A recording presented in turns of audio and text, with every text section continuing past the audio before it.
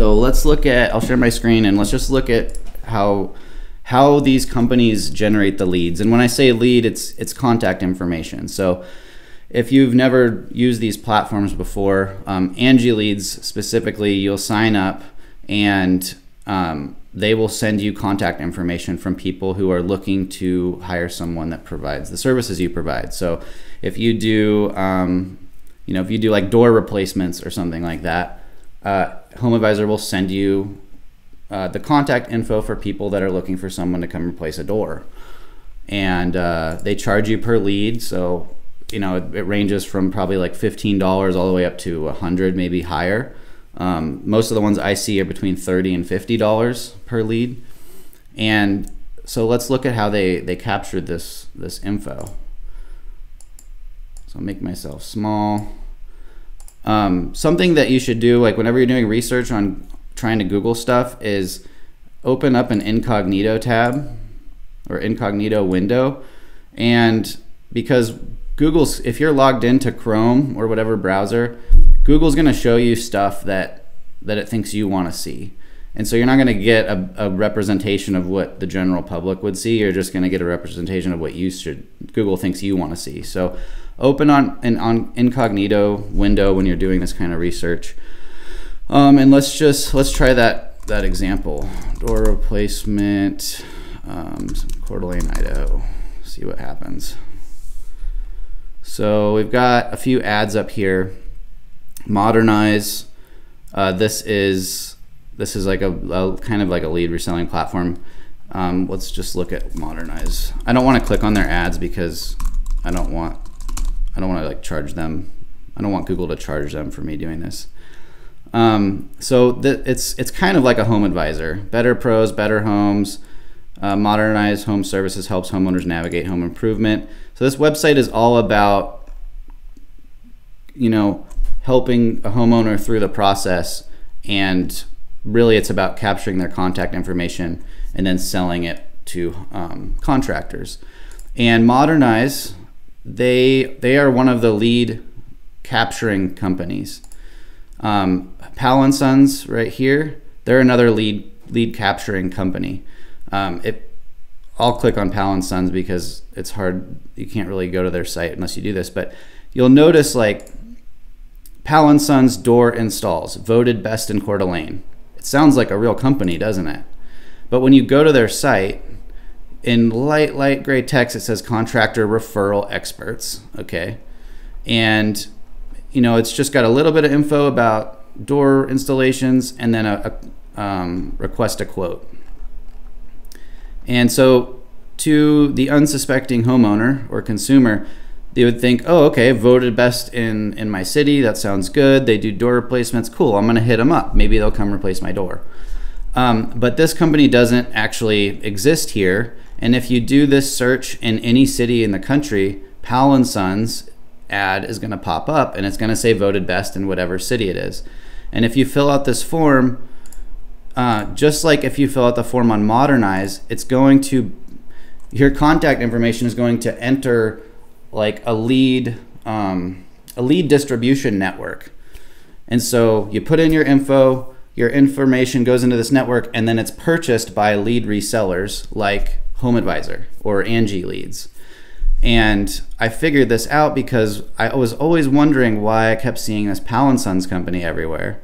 And I filled out the form one day and somebody called me from Angie's List, like a contractor, said, "Hey, your information just came through Angie's List." And I was like, "Oh, okay."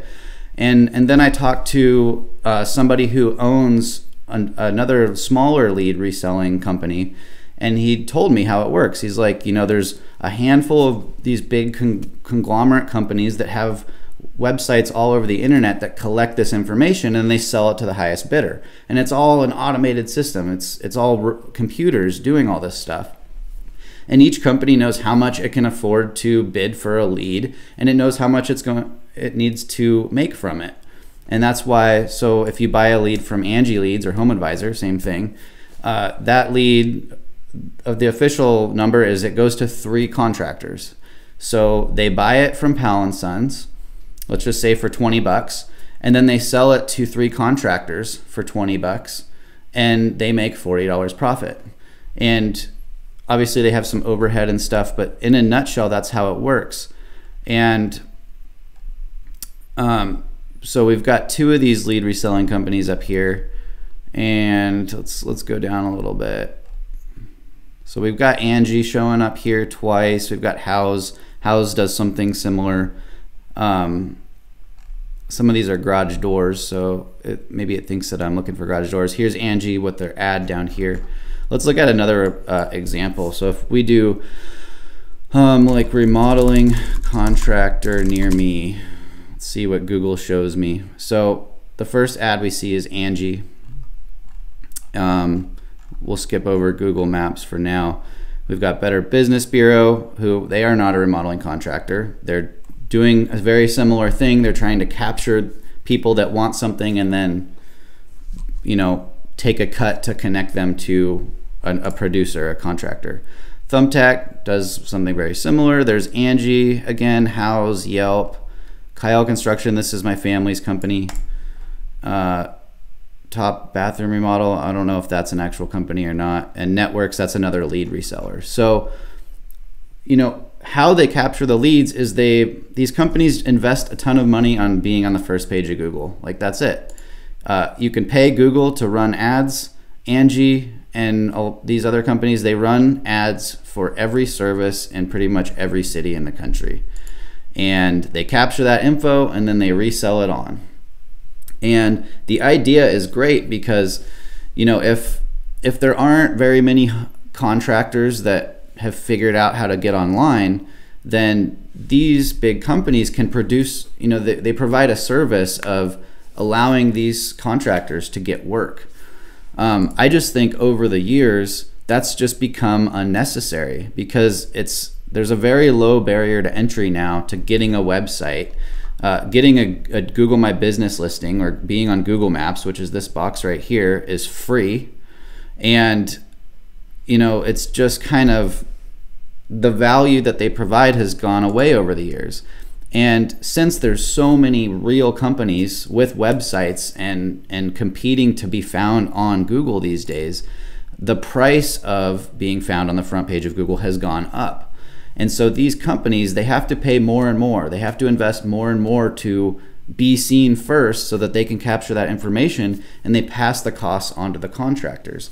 Another thing that, that that's happened and I don't know exactly why. We can we can speculate, but they've started gathering leads from anywhere and everywhere they possibly can. So if you go to this Modernize website and you read articles about home improvement stuff, you have a million chances to put in your contact information. And it, they always sell it as like, oh, do you know, find local pros.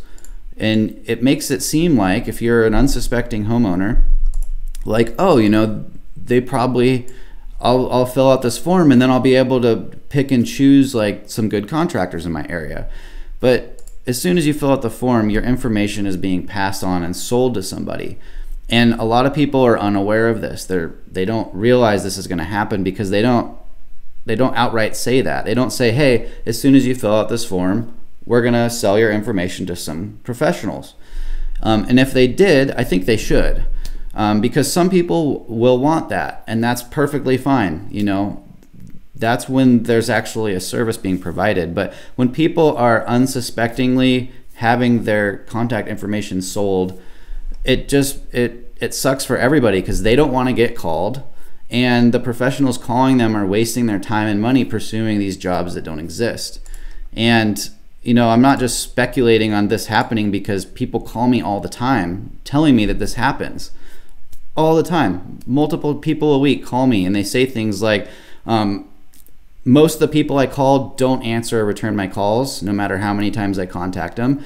And then a lot of people that do answer the phone say, We've been called by eight different people, and maybe they're exaggerating, but we've been called by a bunch of different people, and we didn't even want to get called by anybody.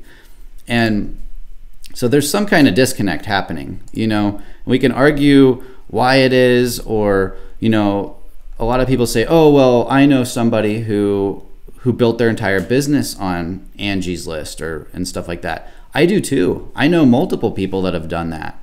And of the people I know that have done that, they just this year they're saying, okay, well after this last six months, it's really gone downhill. I need to find something else.